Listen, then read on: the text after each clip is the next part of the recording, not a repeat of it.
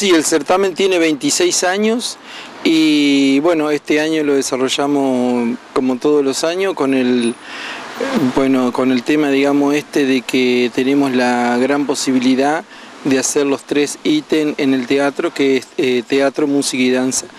Eh, hicimos el pasado sábado el ítem música y ahora el domingo que viene nos preparamos para hacer el ítem danza. ¿Los jóvenes siguen acompañando esta propuesta masivamente como lo han hecho durante años? Eh, sí con entusiasmo, no sé si masivamente, digamos. tenemos, por ejemplo, ítems que han crecido más, eh, y otros que se han mantenido. Por ejemplo, fotografía este año eh, creció mucho, ya nos presentaron 36 fotos, que lo normal son 29, 30, y también se mantuvo teatro con 7 obras de teatro.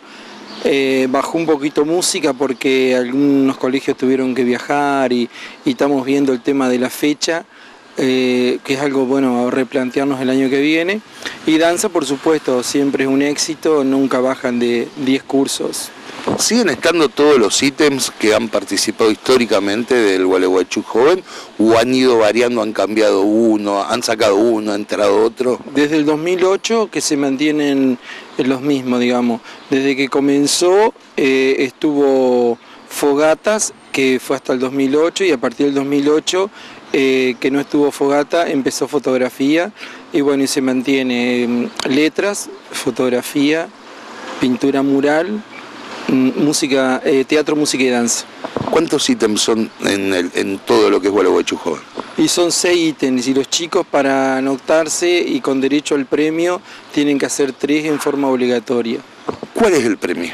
El premio es dinero eh, mm, que, digamos, dividido en cuatro premios, es decir, eh, antes se daba un solo premio, después se dieron tres y ahora estamos dando cuatro premios, que es en dinero que a su vez ellos a su vez les sirve porque eh, eso después lo utilizan para carroza o para el día del 25 de mayo, que es el stand. Y también algunos lo usan para la campera de, de sexto año. ¿Aproximadamente cuántos jóvenes participan de Gualeguaychú Joven? Y más o menos entre, estamos entre, en el total serían unos 1.500, 2.000 tal vez.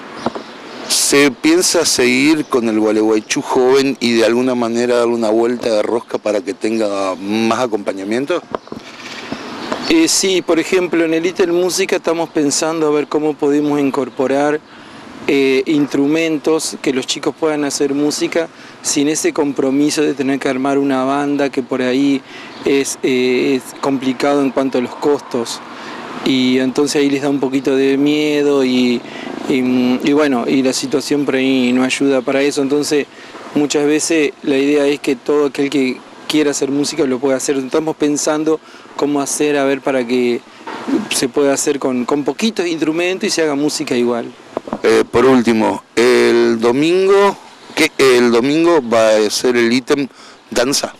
El domingo 25 en el Teatro Gualeguaychú vamos a hacer el ítem danza. La entrada cuesta 50 pesos y se va a realizar a las 19 horas.